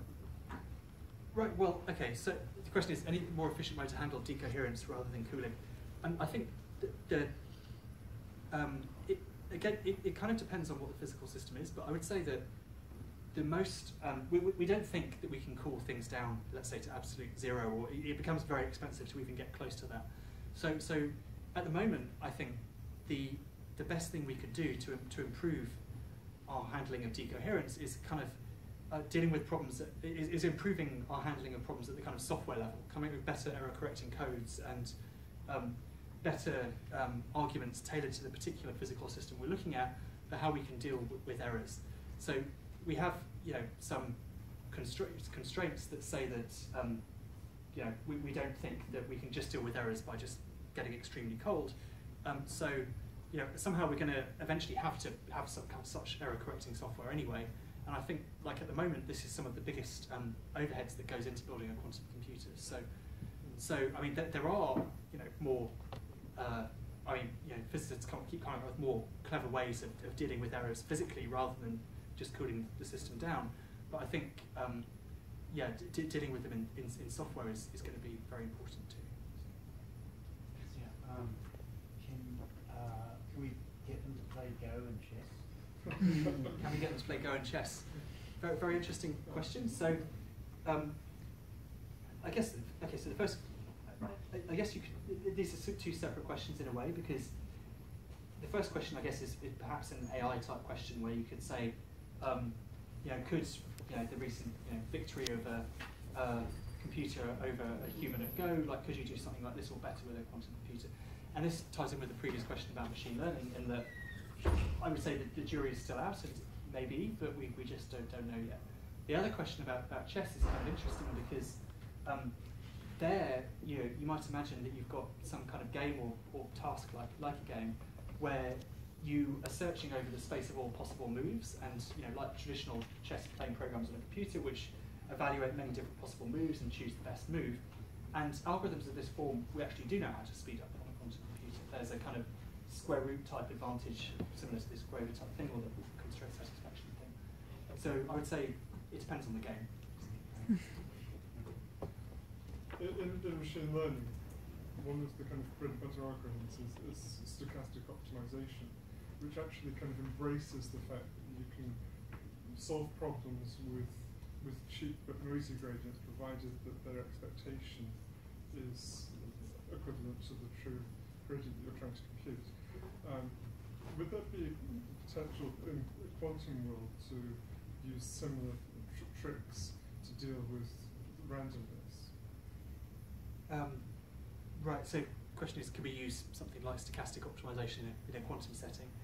Um, yes, so it, it's an interesting question. So the, the I guess one, one answer to it is that um, one, th one thing you might do with your, your randomness when you do a, one of these stochastic optimizations, I mean, not, it's not all you can do, but one thing you might do is just try many things and take the average. Like, so you might um, have some cost function that you just evaluate on you know, a few different randomly chosen inputs, and then you just take the average. And in fact, this, this kind of calculation, we do know how to speed up on a quantum computer. We can uh, compute the, the average of um, some kind of bounded random variable, like with this, this kind of square root time, time that, that we uh, compared with classical.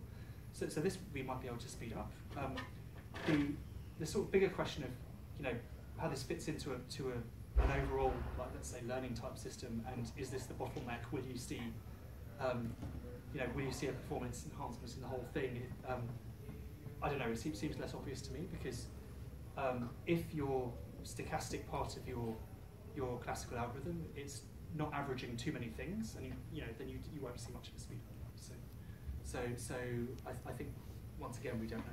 We hopefully know some. I, I, okay, so I guess we should maybe think about wrapping up because it's half eight almost. So. Yeah. One, would like to say something? Um, yep. Well, thank you for coming, everyone, and uh, thank you very much, Ashley and Montanaro. Excellent talk.